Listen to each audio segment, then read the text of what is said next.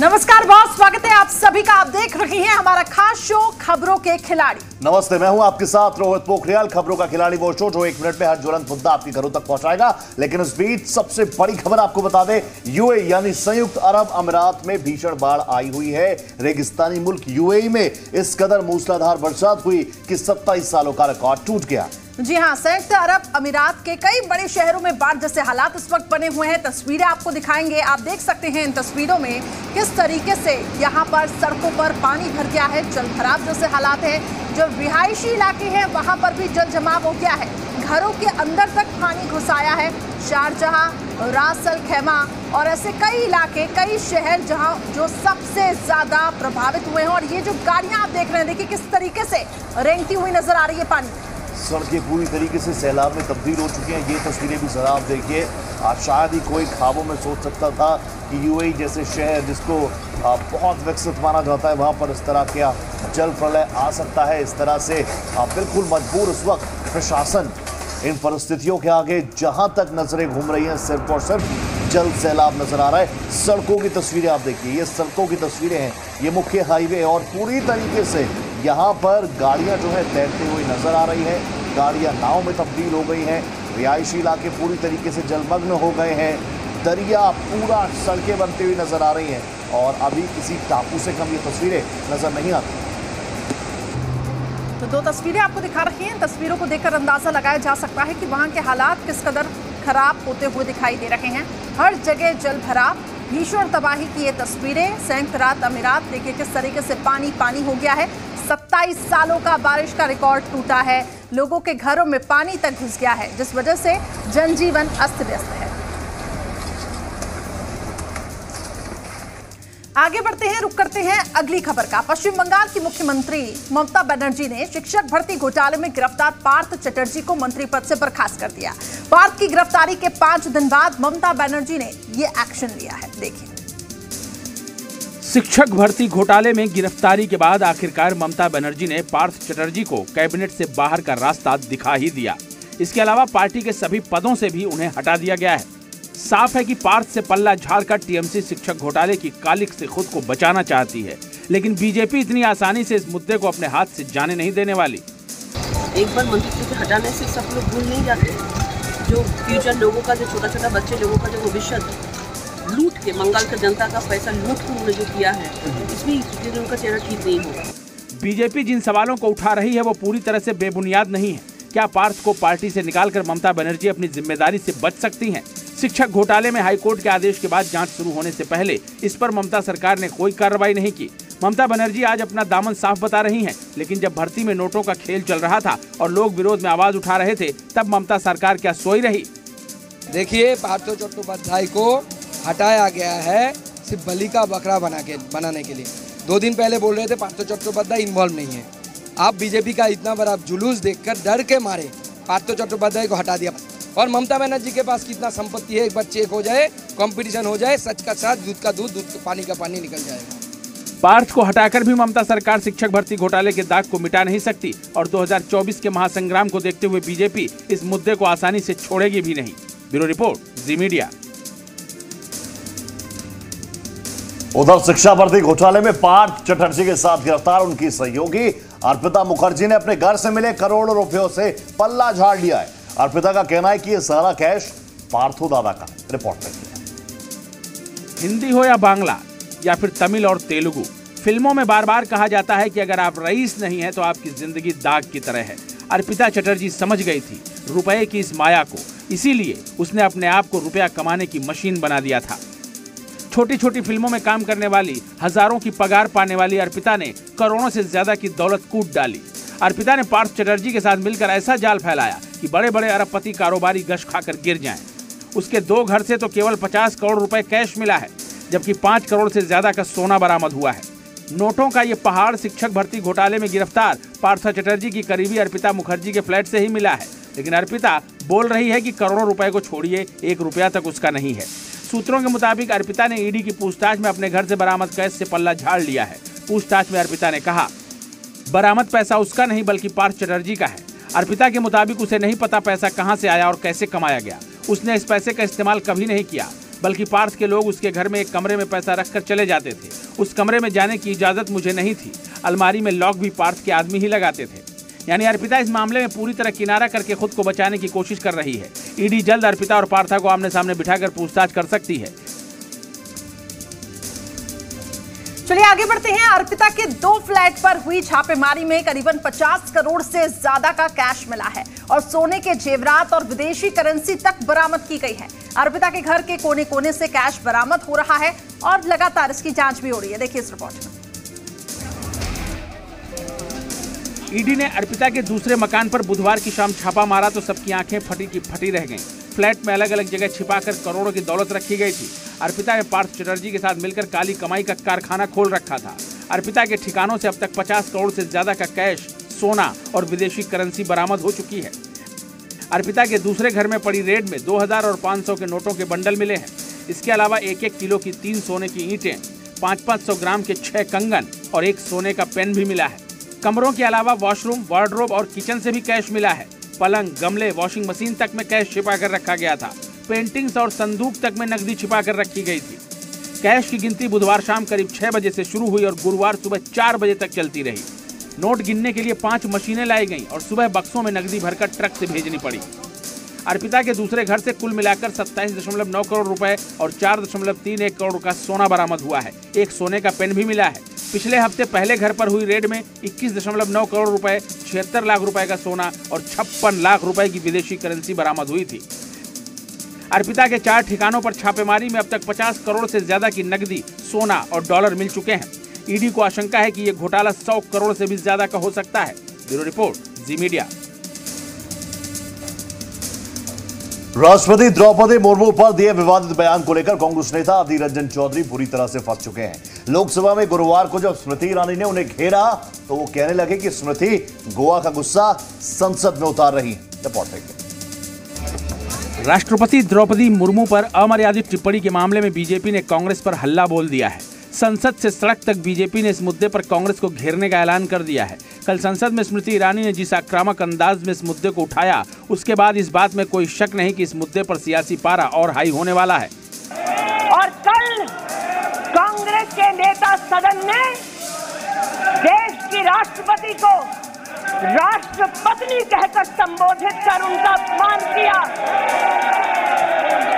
Congress party आदिवासी महिला का ये सम्मान बचा नहीं पा रही। बीजेपी ने इसे आदिवासी समुदाय की महिला राष्ट्रपति का अपमान बताते हुए सीधे सोनिया गांधी पर निशाना साधा।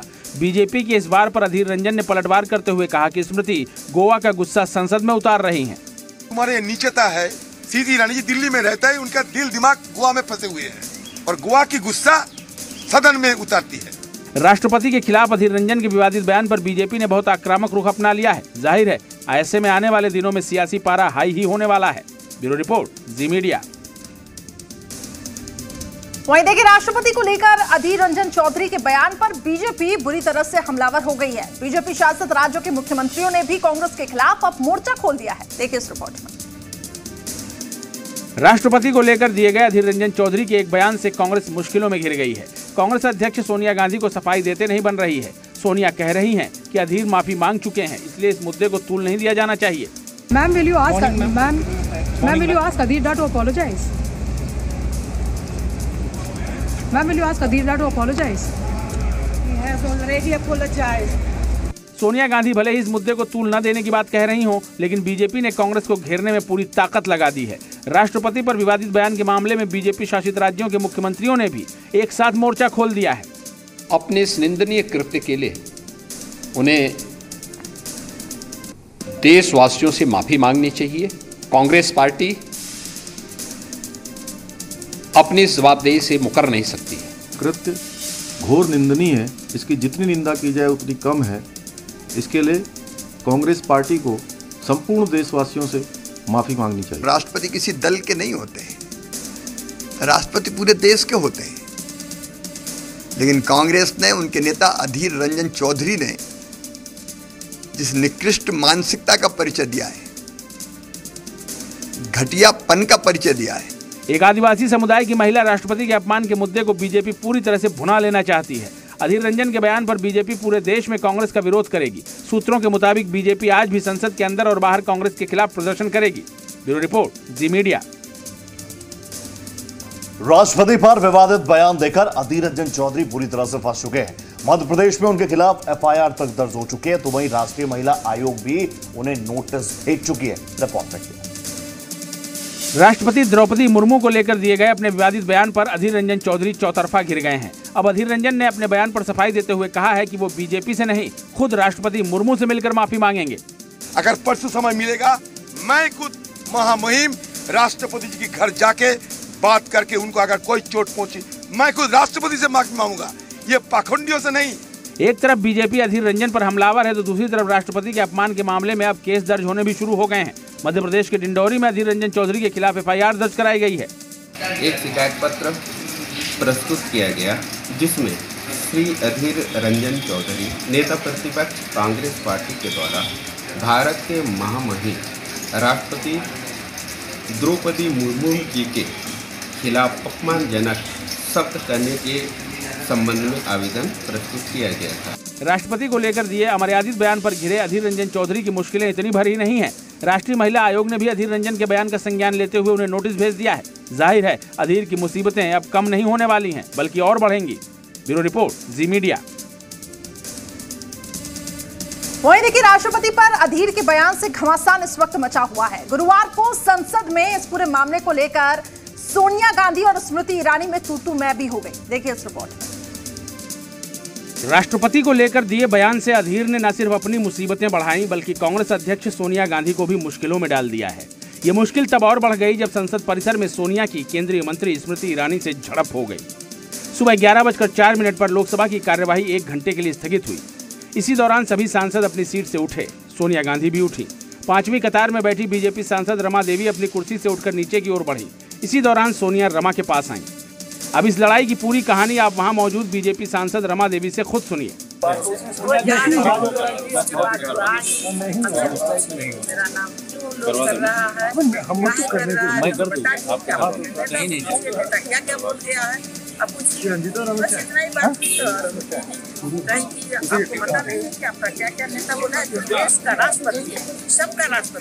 और उसके विषय में इस तरह का बातें बोल रहा है तो हुआ दे रहा है। हम आपसे बात नहीं कर रही। झगड़े की इस कहानी में एक चश्मदीद एनसीपी की सांसद सुप्रिया सुले भी हैं, जो लोकसभा की कार्यवाही के दौरान सोनिया गांधी के पीछे खड़ी थी। सुप्रिया सुले ने ही सोनिया गांधी को शांत कराया और वहाँ से लेकर गईं। इस लड़ाई को लेकर कांग्रेस ने आरोप लगाया है कि स्मृति ईरानी ने सोनिया गांधी के साथ अपमानजनक बर्ताव किया। कांग्रेस का दावा है कि बीजेपी के महिला और पुरुष सांसद सोनिया पर हावी हो गए और उनके साथ बदसलूकी की। आज हमने लोकसभा के अंदर बहुत ही एक शर्मनाक व्यवहार हमारी नेता सोनिया गांधी जी के प्रति हमने देखा। हालाँकि बीजेपी का दावा है कि ऐसा कुछ भी नहीं हुआ। सवाल ये कि क्या वो सोनिया जो संसद में अधीर रंजन के लिए स्मृति ईरानी से तूतू मैमे कर रही हैं वो अधीर के खिलाफ कोई कदम उठाएँगी? Bureau report Zee Media. Assam में आतंकी स्लीपर सेल का भांडाफोड़ हो चुका है। बांग्लादेशी आतंकी संगठन के 12 जिहादियों को गिरफ़्तार किया गया है। अलकायदा तक से जुड़ रहे हैं इसके कनेक्शन ये रिपोर्ट देखिए। पटना में टेरर मॉड्यूल के भंडाफोड़ के बाद अब असम में भी मदरसे की आड़ में आतंक का कारोबार चलाने वालों का भंडाफोड़ हुआ है और ऐसे आतंकी मॉड्यूल से संबंध रखने वाले मौलवी समेत 12 लोगों की गिरफ्तारी हुई है। दरअसल असम के चार इलाकों में टेरर मॉड्यूल के गिरोह का भंडाफोड़ हुआ है। मोरीगांव, बारपेटा, गुवाहाटी और गोलपाड़ा से आतंकी गतिविधियों के शक में मौलवी मुस्तफ़ा समेत 12 लोगों को गिरफ़्तार किया गया है। जिनका संबंध दुनिया के खूंखार आतंकी संगठन AQIS यानी al Qaeda in the Indian subcontinent और बांग्लादेशी आतंकी संगठन अंसारुल्लाह बांग्ला टीम, यानी एबीटी से जुड़ा है। असम पुलिस ने मोरी गाँव से मुस्तफ़ा नाम के शख्स को हिरासत में लिया था, जिस पर मदरसे की आड़ में आतंकी गतिविधियाँ चलाने का आरोप था। उससे मिली जानकारी के बाद ही दूसरी जगहों से 11 और संदिग्धों को दबोचा गया। असम के सीएम ने कहा है कि राज्य में सरकारी मदरसे तो बंद हो चुके हैं, लेकिन चल रहे मजहबी मदरसे में ऐसी जिहादी साजिशों की खबर परेशान करने वाली है। जल्द ही इसके खिलाफ कार्रवाई होगी। कि हमारा जो सरकारी मदरसा 700 था उनको तो हमने बंद कर दिया और अभी जनरल एजुकेशन उनमें स्टार्ट हो गया। आज जो एक मॉड्यूल हमको मिला या जो मॉड्यूल को हमने एक्शन लिया, वो मॉड्यूल को लीड कर रहा था एक मदरसा का शिक्षक ने। हम लोग ने लोगों को अरेस्ट किया है, उससे हम लोग को काफ़ी और जानकारी मिलेगा। पुलिस ने मोरीगांव के जमीयतुल हुदा मदरसा को सील कर दिया है। इस निजी मदरसे में ही लंबे समय से जिहादी गतिविधियाँ चल रही थी। मदरसा के संस्थापक मुफ्ती मुस्तफ़ा को गिरफ़्तार कर उससे पूछताछ चल रही है। पुलिस ने मुस्तफ़ा के बैंक खातों को भी जब्त कर लिया है। Bureau report, Zee Media. आगे बढ़ते हैं। कर्नाटक में बीजेपी नेता प्रवीण के कातलों पर उत्तर प्रदेश जैसा एक्शन होगा। जी हाँ, सीएम बोमई ने जिहादियों पर यूपी मॉडल की तरह कार्रवाई की बात कही है। देखिए इस रिपोर्ट में। बीजेपी कार्यकर्ता की हत्या के बाद गलाकाट गैंग से निपटने के लिए कर्नाटक में योगी मॉडल अपनाने की तैयारी हो रही है। यूपी में योगी सरकार ने जिहादियों के खिलाफ जिस तरह से कार्रवाई की है, उसी तरह के एक्शन की तैयारी कर्नाटक में हो रही है। दक्षिण कन्नड़ में बीजेपी नेता प्रवीण की हत्या के बाद उनके परिजनों से मिलने गए। कर्नाटक के मुख्यमंत्री बसवराज बोम्बई ने यूपी मॉडल की तर्ज पर कार्रवाई की बात कही है। Whatever possible will do it and if need be. If the situation says that UP model, or much more stricter than that, we will not hesitate to do it. Praveen की हत्या के बाद से कर्नाटक में लोगों में भारी आक्रोश है। दो आरोपियों की गिरफ्तारी भी हो चुकी है, साथ ही कई और लोगों को हिरासत में लेकर पूछताछ की जा रही है। सीएम बसवराज के ऐलान के बाद इतना तो तय है कि कर्नाटक में गलाकाट गैंग का काउंटडाउन शुरू हो गया है। जल्द ही उत्तर प्रदेश की तरह कर्नाटक में भी जिहादियों का पक्का इलाज होगा। Bureau report, Zee Media. गठबंधन टूटने के बाद ओम प्रकाश राजभर पर समाजवादी पार्टी के अध्यक्ष अखिलेश यादव का तंज सामने आया। वो कहते हैं कि राजभर पर दूसरे दलों की प्रेत आत्मा आ चुका है और उन्हें झाड़ फूक करवाना चाहिए। ये रिपोर्ट देखिए। गठबंधन टूटते ही अखिलेश यादव और ओम प्रकाश राजभर की तलखियाँ खुलकर सामने आने लगी हैं। पहले सुहेलदेव भारतीय समाज पार्टी के मुखिया ओम प्रकाश राजभर ने अखिलेश को खरी खोटी सुनाई तो अब बारी पलटवार की थी। अखिलेश ने कहा कि राजभर पर दूसरे दलों की प्रेतात्मा आ गई है और उन्हें झाड़ फूंक से ही ठीक करवाना पड़ेगा। मुझे तो लगता है कि उनके अंदर आत्मा किसी और दल की आ गई है। और गाँव देहात में झाड़ फूक होती है ना उन्हें झड़वाना फुकवाना पड़ेगा। और तभी ठीक होंगे। अपने पिता पर इस हमले से अरुण राजभर उखड़ गए और अखिलेश को ही उल्टे झाड़ फूंक करवाने की सलाह दे डाली। यह उनका एक बौखलाहट है। वो उनकी हताशा है। अब उनको पूर्वांचल में एक बड़ा साथी उनका साथ छोड़ दिया है। इसलिए ज़मीन खसक गई। अब उनके पास कोई ज़मीन मज़बूत करने वाला उनका साथी नहीं रहा है। अखिलेश ने राजभर को निशाने पर लिया साथ ही अपने चाचा शिवपाल यादव पर भी खूब तंज कसा। मैंने केवल ये कहा है कि जहाँ आपको सम्मान ज़्यादा मिले वहाँ जाएँ। और आपको जाना भी चाहिए क्योंकि आपके अपने सिद्धांत हैं अपने कार्यक्रम हैं तो अपनी पार्टी को मज़बूत करें। पहले तो विधानसभा चुनाव में समाजवादी पार्टी गठबंधन की हार हुई और अब ये गठबंधन भी बिखर गया है। ऐसे में सवाल ये उठ रहा है कि क्या 2024 का लोकसभा चुनाव समाजवादी पार्टी अकेले लड़ेगी या फिर कोई और साथी खोजेगी? Bureau report Zee Media. Uttar Pradesh में सरकार न बन पाने पर समाजवादी पार्टी के नेता आज़म खान की कसक सामने आई। कहा कि बन न पाए सिकंदर बन गए हैं मदारी। का बंदर देखिए इस रिपोर्ट में। समाजवादी पार्टी के कद्दावर नेता आज़म खान करीब दो साल बाद जेल से बाहर आए हैं लेकिन बार बार कोर्ट के चक्कर लगाते लगाते इतने परेशान हो चुके हैं कि उन्होंने खुद को ही मदारी का बंदर करार दिया। उत्तर प्रदेश में समाजवादी पार्टी के सत्ता में ना आ पाने की कसक बताते बताते उन्होंने कहा कि सिकंदर तो हम बन नहीं पाए मदारी का बंदर ज़रूर बन गए। वोट तो सबसे ज़्यादा समाजवादी पार्टी को मिला विपक्ष के तौर पर। यार सरकार तो नहीं बनी दोस्त। हैं? जो जीता वो सिकंदर। तो सिकंदर तो हम हुए नहीं बंदर हो गए। देखो कभी रामपुर कोर्ट में कभी मुरादाबाद में कभी बम्बई में कभी लखनऊ में कभी फिरोजाबाद में मदारी के बंदर हो गए हम। आज़म खान ने खुद को मदारी का बंदर तो ज़रूर कहा लेकिन ये नहीं बताया कि उनका मदारी कौन है। Bureau report Zee Media. Lulu mall में नमाज़ के बवाल पर चार दिन पहले समाजवादी नेता आज़म खान ये कहते सुनाई दिए थे कि वो ना तो किसी लुलू को जानते हैं ना किसी लोलू को। लेकिन चार दिन बाद ही वो आरोप लगा रहे हैं कि लुलू मॉल में नमाज़ की साजिश का संघी कनेक्शन है। रिपोर्ट देखिए। मुरादाबाद कोर्ट में पेशी पर आए आज़म खान का सामना फिर लुलू मॉल के सवाल से हुआ तो उनकी जुबा पर संग आ गया। रखने वाला क्योंकि आरएसएस का फंड रेजर है उसने मॉल बनाया है। नमाजी भी वही लाया था। विवाद भी उसने खड़ा किया। उसे इसका नाम बदलना चाहिए। चार दिन पहले लुलू मॉल के सवाल पर आज़म खान भड़कते नज़र आए थे। अमा हमने ना लुलू देखा ना लोलू देखा। खैर मुरादाबाद कोर्ट में आज़म से मीडिया की बातचीत उन पुलिस वालों पर भारी पड़ गई जो उन्हें कोर्ट में पेशी के लिए लाए थे। ये टोटल चार पुलिसकर्मी इसके अंदर सस्पेंड हुए हैं और वहाँ पर इसके वीडियो और फोटोग्राफ्स आए हैं जहाँ पर ये तो बिना पुलिस अभिरक्षा के मौजूद था।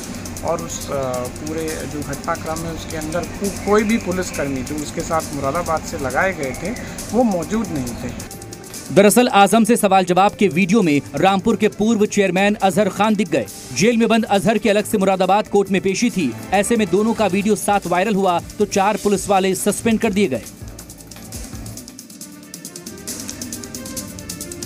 वहीं देखिए, केंद्र सरकार के हर घर तिरंगा अभियान पर पीडीपी अध्यक्ष महबूबा मुफ्ती ने निशाना साधा। महबूबा ने आरोप लगाया है कि सरकार डरा धमकाकर कश्मीर में हर तिरंगा अभियान चलाना चाहती है। महबूबा ने यह भी कहा कि अगर सरकार में हिम्मत है तो चीन ने जिन क्षेत्रों पर अवैध कब्जा किया है, वहाँ झंडा फहराकर दिखाए। देखिए इस रिपोर्ट आज़ादी की पचहत्तरवीं वर्षगांठ पर आज़ादी का अमृत महोत्सव के तहत हर घर तिरंगा अभियान की तैयारी चल रही है। लोगों को अपने घर में तिरंगा फहराने के लिए प्रेरित किया जा रहा है। इसमें किसी को क्या दिक्कत हो सकती है? लेकिन पीडीपी चीफ महबूबा मुफ्ती तिरंगे पर भी सियासत कर रही हैं। श्रीनगर में एक रैली के दौरान महबूबा ने प्रधानमंत्री मोदी को चुनौती दी कि हिम्मत है तो पूर्वी लद्दाख में चीन के अवैध कब्जे वाले इलाके में झंडा फहरा कर दिखाएँ। आपने देखा नहीं 2019 में 370 खत्म करके आपने जम्मू कश्मीर को कहाँ पहुँचाया है? आज यहाँ तिरंगा लगाने के लिए आपको लोगों को धमकी देनी पड़ती है। और कहते हो बीस रुपए दे दो। अरे, इतना महान झंडा है। झंडे की कदर सब लोग करते हैं। ये किसी मुल्क का झंडा हो उसको सब सलाम करते हैं। मगर आपने इस झंडे को भी पॉलिटिक्स बना दिया। अगर झंडा गाड़ना है तो जो चीन ने हमारी ज़मीन पे कब्जा किया है, एक हज़ार स्क्वायर किलोमीटर पे, वहाँ जाके वो कब्जे से वापस लेके, वहाँ झंडा गाड़ो। महबूबा से पहले नेशनल कॉन्फ्रेंस के अध्यक्ष फारूक अब्दुल्ला भी तिरंगा अभियान को लेकर विवादित बयान दे चुके हैं। सर हर घर में तिरंगा। कैसे देखते इसको? पानी सर हर घर में तिरंगा। कैसे देखते इसको? पानी यही नहीं महबूबा मुफ्ती ने एक बार फिर पाकिस्तान का राग भी अलापा। कहा पाकिस्तान से बातचीत के बगैर कश्मीर समस्या नहीं सुलझ सकती। Bureau report Zee Media.